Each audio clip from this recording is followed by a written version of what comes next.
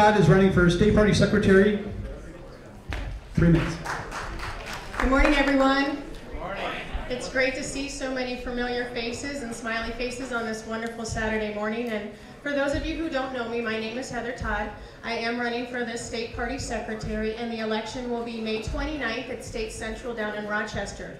So for those of you who are state central delegates, I would like to ask this morning for your vote. If you're not a state central delegate, please let your state central delegate know that I am the candidate that you would like to see for the next secretary of the party.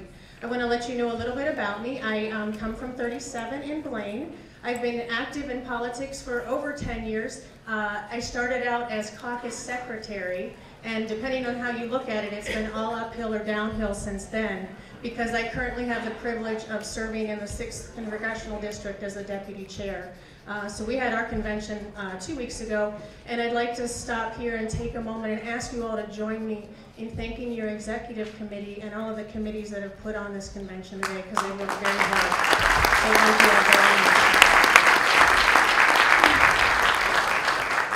As you all know, it takes a lot of effort to put on a convention, to do a parade, to run a campaign. And at the state party, one of our primary roles is to help support you and to encourage you um, to make sure that you have all of the tools, all of the um, resources, and all of the information you need to support our endorsed candidates. You're here today to support, a, to endorse a congressional candidate that we hope to send to Washington, that we will send to Washington.